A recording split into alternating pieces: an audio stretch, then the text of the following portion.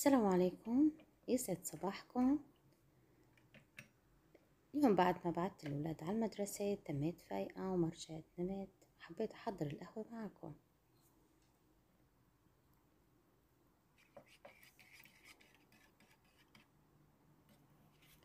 طبعا القهوة أنا بحبها بوش. بحط لها أول شي أول رغوة أو أول قرشة وش عليها وبعدين بغليها وبصبها.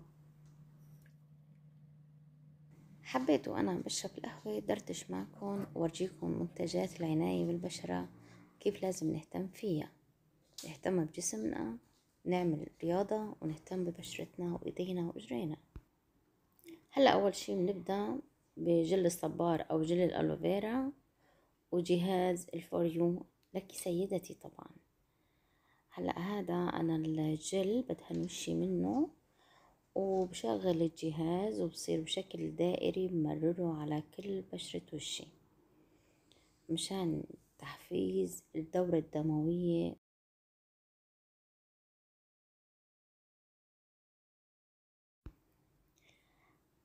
أما العبوة هاي فهي زبدة الكاكاو. كلياتنا بنعرف الكاكاو أو القهوة فيها مادة الكافيين اللي بتعطي نضارة ونعومة للبشرة.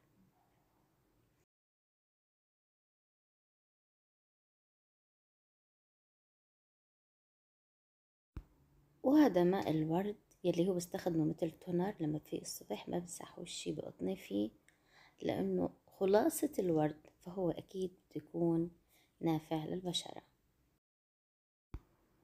وهون جل الأوليفيرا فيه 98% من نبتة الصبار طبيعية. هذا زيت جوز الهند كتير كويس للشعر وأطراف الأظافر وكمان للبشرة. رائع لازم يكون جامد بجيبه من عند العطارين.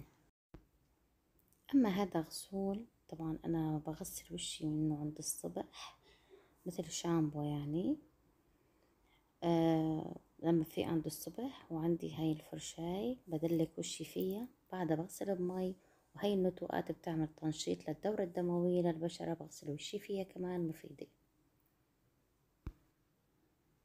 وهذا كمان بعده أنا غسول مع قطنة بمسح بشرتي فيها من الأتربة من الغبرة إذا كنت برا البيت من واقي الشمس بالإضافة للمكياج. كتير كويس. طبعا بمسح وشي فيه وبعدها بغسله بمي فاترة وصابون ممكن دوف أو أي صابون خفيف للوجه.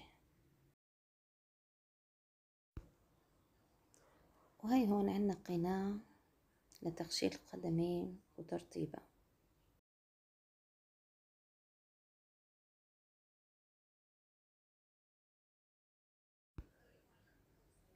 وهذا قناع للبشرة مشان الترطيب. طبعا بستخدمه مرتين قبل ما أكبه بس بين المرة والمرة برجعه للكيس نفسه لأنه فيه مي بتحفظه. هالمستحضرات أنا جبتها من جراتيس بالبرايم مول أما الزيوت وزبدة الكاكاو من العطار وهالقناعين جبتهم من السعودية. وتعلموا يا صبايا. كل ما تدهنوا وشكم تقروا آية الكرسي. الله سبحانه وتعالى بنور وشنا وبنور قلوبنا. أنا كل ما بدهن وشي بقرأ آية الكرسي.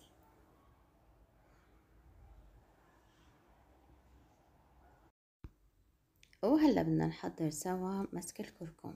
الكركم كتير مفيد. صفار بيضة ومعلقة كركم ضفت له أول شي ثلاث معالق صغيرة من زيت الزيتون وخلطتهم لقيته سميك شوي رجعت ضفت له معلقتين زيت زيتون. طبعا البيض فيه بروتين الكركم مفيد كتير بيستخدموه بأدوات التجميل مستحضرات التجميل وبنصحوا فيه الأطباء حتى بحطوه على السلطات مثل ما بحط النعناع أو البهارات. وزيت الزيتون غني عن التعريف رب العالمين أقسم فيه. وبالتين. طبعا حتى زيت الزيتون رائع للشعر.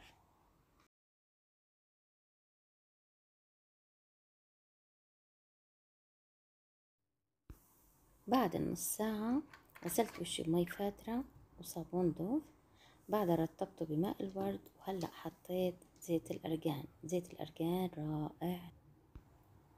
أهم شي لما بدي أطلع بالشمس حتى لو كان الدنيا شتاء لأنه الشمس موجودة أحط واقي شمسي. وعندي هاد زيت جونسون للأطفال للبشرة الحساسة.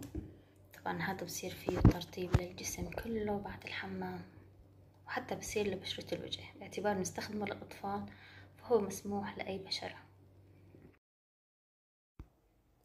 ولما بحط زيت أو مرطب للوجه فلازم أبدأ من الأنف حتى منبت الشعر لتحفيز وتنشيط الدورة الدموية فيه.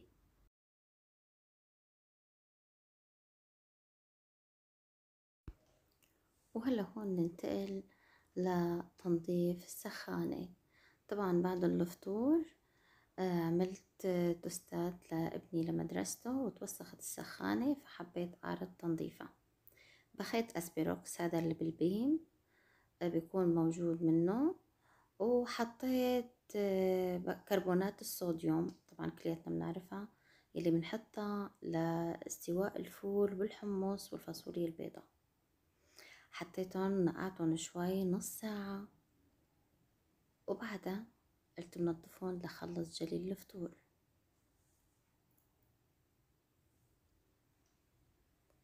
طبعا هون عملتهم بالفرشاي مشان يتخلل السائل لتحت لأنه هي سطح غير مستوي.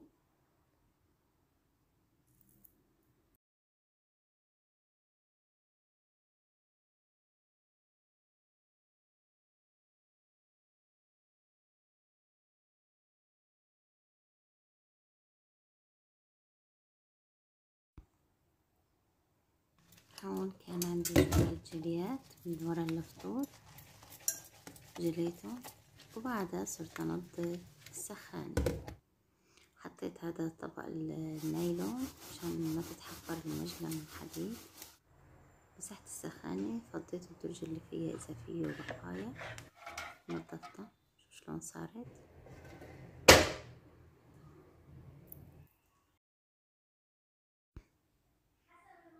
وحضرت الغداء صينية فروج ببطاطا بهارات نزلتهم قبل مرة على القناة. وعملت صحن مقبلات كبة نية مع البندورة ودبس الرمان. طبعا بالزيت. كتير طيبة. إن شاء الله ينال إعجابكم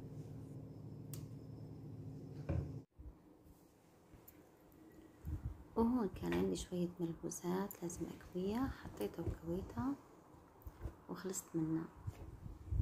شغل البيت مسلي بس أنا شوية بنزعج من الكوي مين مثلي بنزعج من الكوي كمان؟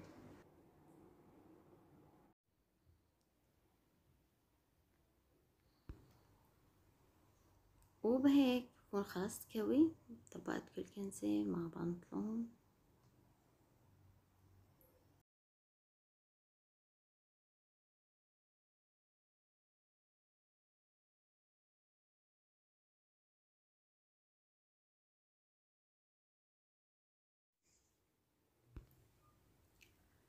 طريقة هالطوي لقيتها كتير سهلة بطوي الكنزة على النص بقلب الكمام.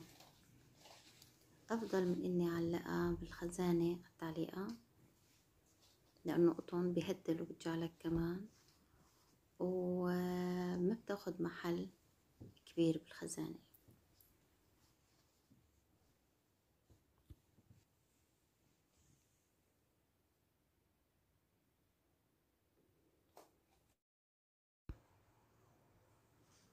وهيك كمان طريقة تطبيق البنطلون.